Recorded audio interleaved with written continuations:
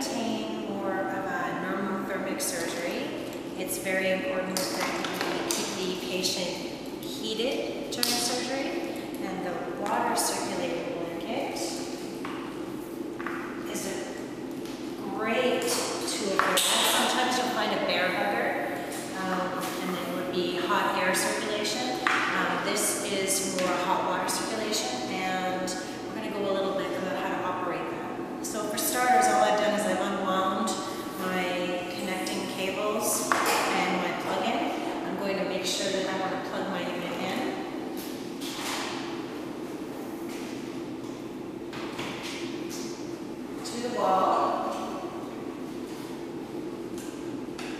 First things first.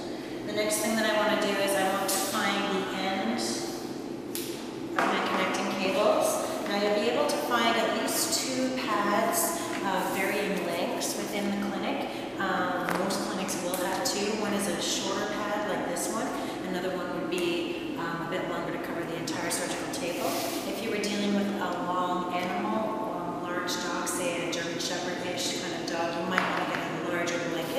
This is a very good surface area for a cat or a small dog.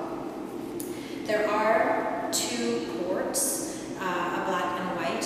It does not matter which port you connect the hoses to as long as they're fully connected and you need to hear them click. So I'm going to be quiet here for a second.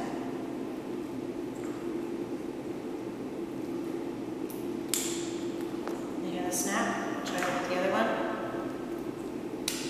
Like that. So as long as you hear the click, then you know that they're fully connected. And once you hear the click, you need to open up this clamp, clamp number two, clamp number three, clamp number four. So each of the four clamps must be opened at this point. So the machine's been plugged in, the clamps are open, my blanket is ready to go. I want to be able to set the temperature. There's a key that fits, it's like an Allen key that will fit the temperature gauge. Um, putting it at 100 is a fairly safe temperature to start at. Um, you might find that throughout surgery or in the beginning before surgery, when you touch the blanket, it will not be warm enough. So you can turn the, the heat up with this key. It's permanently attached to the machine by a string. And the next step will be to check the water level. Now on the side of the machine, there will be a line that it says the operating water level. If you find that it is low, you simply unscrew the cap.